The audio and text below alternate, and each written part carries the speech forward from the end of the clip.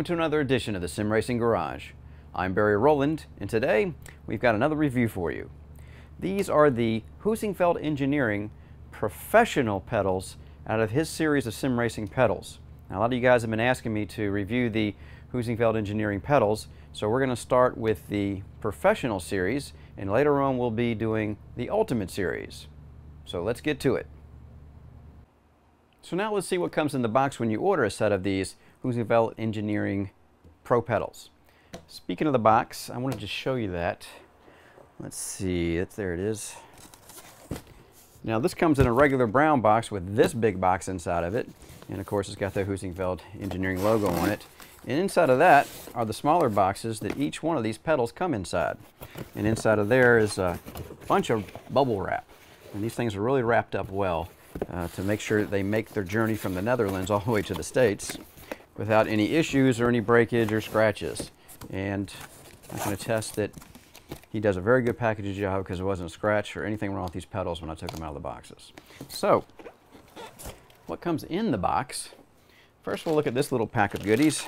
It's got a urethane bumper in it, some metal washers, some plastic, hard plastic spacers, and some smaller spacers of white compared to the harder, thicker ones that are black.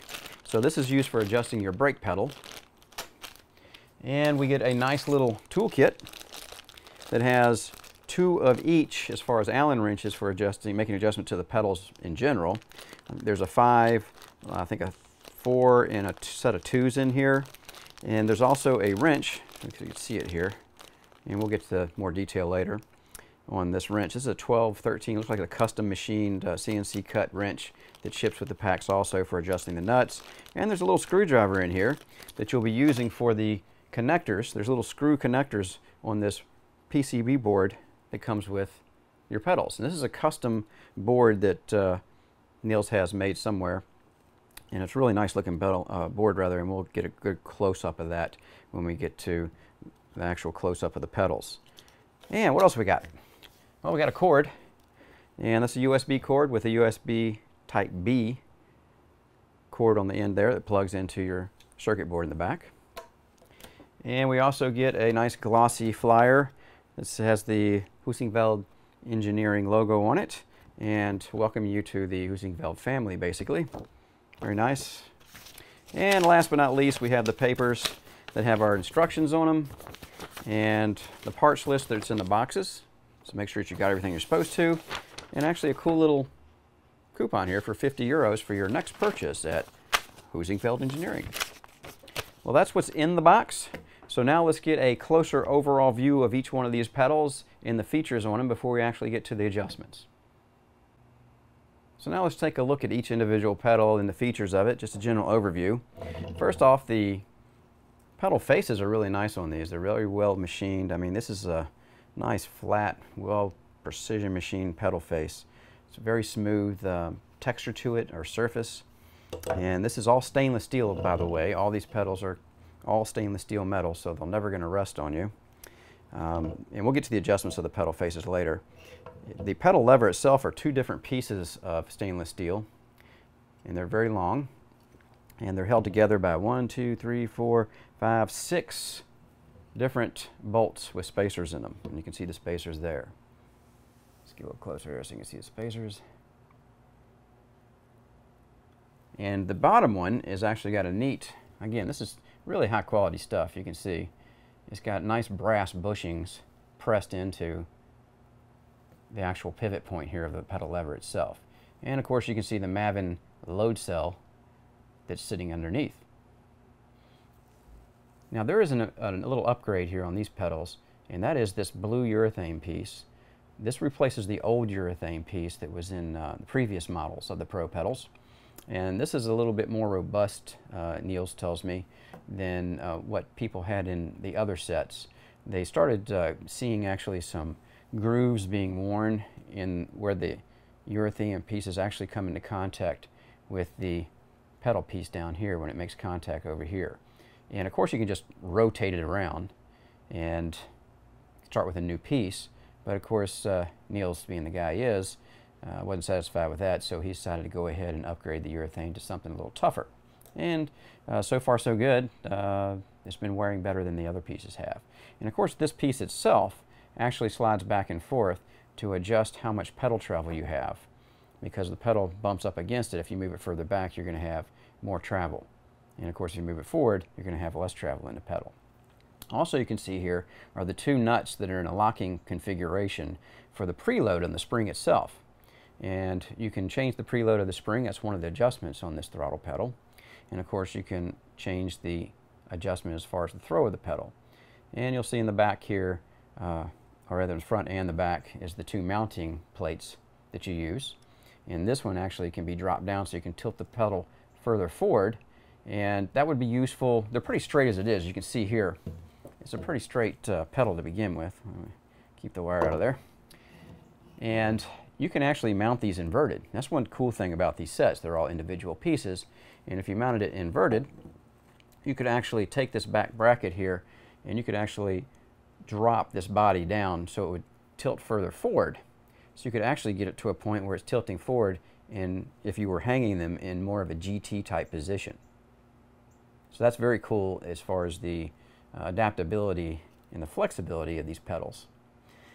Very nice finish everywhere. It's, it's just high quality unit. You can tell that the tolerances are very tight all through this, this assembly. Uh, really nice looking stuff. And there's this, I'll get a little closer here so you can see the how this load cell is set up. Let's get the cord out of the way. Down there. Okay. And I'm to do it this way. Maybe get a better look at it. There's a piece of acrylic back here, or Lexan, and that bolts to the back of the load cell. And in the front, if you can look down here in between the front of the pedal, you can see there's another piece of acrylic right in here. And there's a spring. You see the spring in there. Let me tilt it this way, maybe we can get a better look at it. There it is. And there's a spring that actually attaches down to a screw that goes into the front of the load cell. And that's what causes the load cell to actually move is when you push this pedal. It causes the tension to go down in the front of that load cell, which of course sends those signals down the wires back here over to the circuit board, which then of course sends through the USB to your computer. So we know where the pedal position is. So, very nice setup, very high quality uh, as far as assembly and parts. Uh, again, uh, Neil's done a great job here with these. It's, it's one of those things when you take out the box, as soon as you look at these things, you know, wow, this, is, this has been a, really well-made pedal, especially if you're experienced with pedals that came in the G27s or the T500s or the even the um, um, CSPs version 1 and 2s from Fanatec. This stuff is just, uh, just head and shoulders above those kind of things. And you notice, you notice that as soon as you take it out of the box. All right, so let's take a look at the clutch before we get to the brake. And the clutch has a unique uh, design to it. It's also very much like the throttle, except you can see the face is different. It's got a little notch cut out of it over here. So all three of these faces on the pedals are actually different. Again, you can see it has the brass bushing in the front and the same kind of load cell setup on the bottom there. And we have also a way to preload the springs here. Get a little closer here so you can see that. And it's the same deal with the two nuts set up in a locking configuration and we can actually take a little bit of preload off that spring or put more on it depending on what we want. But there's another adjustment here for moving this actual swing arm. I'm, calling it a swing arm, somebody might call it something else. And the further you move this thing up, the easier it is to press this pedal down.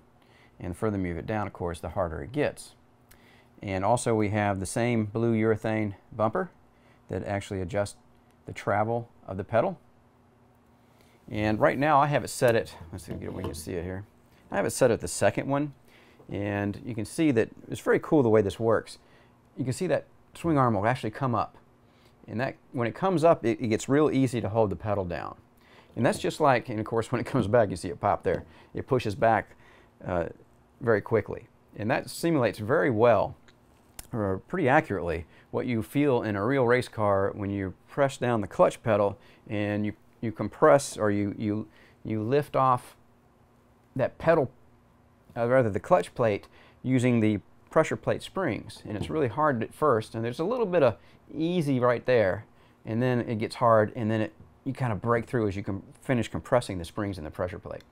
So it's very cool the way that works. Now there are some issues, and we'll talk about when we get to the adjustments parts, of what you need to do when you move these holes up or down as far as uh, where how much travel you get out of this pedal based on how much tension you have on it. So again, we'll give you a bottom look there of the load cell. And these are all high quality Mavin load cells, really nice units. Right, so we'll have a look at the main pedal. The most important pedal is the brake pedal, of course. At least to me, that's the most uh, important pedal. And you can see its face also is a little different than the rest of them. Nice big fat surface to get your foot on. I really like that uh, because a lot of times uh, when we're doing clutching and braking, sometimes uh, your foot can get in between them. But when the bigger the pad, the better. And this, as you can see, the, the brake pedal is going to have more pressure on it than the throttle or the clutch. And you can see here, uh, he has braced this thing accordingly. Well, we got one, two, three, four, five, six, seven, eight, nine, ten, including the pivot in the bottom here, 10 spacers and bolts going through there. As you can see them all there to really reinforce this lever. So there's actually going to be no flex whatsoever in this lever when you're pushing this pedal down, when you have it set up to its highest load ratings. And you can see the, the cool little piece here is that the pedal actually moves a little bit before it contacts anything, this little spring, and there's a spacer in here, there's a gap. Let's see if we can get you a better look at that. So you can see there's a little gap in there. You can still see the threaded rod right in this gap in here and then there's a spacer. So that gives you that little bit of, you can see that right there, move a little. And that's like pushing the any brake pedal and you get a little bit of easy before you get to the, you've actually compressed the pads up against the rotors. So that's a neat feature. Not many pedals have that feature, so you get that feel that it feels like a real pedal. Uh, let's see, the, course it comes with the blue urethane, and again we have the nice heavy duty brass bushings on the pivot point there. And the load cell on this thing, and we'll take a good look at that, is a, so we get a good focus. Again, is a Mavin, and you can see it's a 60 kilogram unit. It's pretty beefy looking sitting in there. And the way this thing is set up is there is a bolt. Let's see if you can see it there sideways. It's right in here and that bolt goes down into the load cell and also keeps everything attached to this little movable piece here. This is actually not connected. If I can show you here on the inside. Uh, you can see right there that um, there's a gap in here. So this whole piece here is separate from the body of the pedal here. So it's all attached, this, the brake uh, shaft that goes down there is attached to that. So when you press down on the brake, this whole piece moves, which pushes down the load cell, and of course, again, sends the signals down the wires to the circuit board so we can calculate what you're doing. And I did take a spacer out. There's another spacer out for reinforcement also to keep these plates together. Oops, get a little higher there. There's a spacer that goes in here with two bolts, like that that I'll put back in. But I had to take that out so you guys can get a good look at the, the load cell and be able to read what was on it. So once you put this back in, again, it adds integrity back to this, which bolts it tight and holds these plates in here. Oops, holds the plates in there. These plates have to stay in there. So a very cool design, and it's easy to make adjustments on it as far as getting this plate out of the, you can see it actually is machined in. He's machined into the plates themselves, these little notches here where this plate actually fits in. And when we get to the adjustments part, you'll see how that adjusts. And of course, you can see these kind of plates are all through the assembly where he assembles this, which is a very nice design actually. Going to make a very rigid pedal. And again, you can see we can actually have the same adjustments here on the front and in the back if we want to invert them, or if we wanted to take the pedal and tilt it back itself, we could actually change this, and I'll show you that in the adjustments, we can actually make this thing so it would sit flat even at this angle here if you wanted to tilt the pedals back. So very, very flexible pedal set up the way he did these.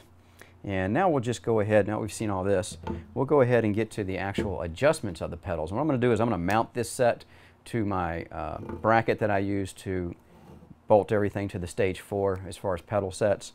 And the reason I'm going to do that is because I want to hold that down with clamps while I'm making adjustments here so I can push on the pedals without them sliding all over the table and me chasing them around. So let's go ahead and get to the adjustments of the pedals.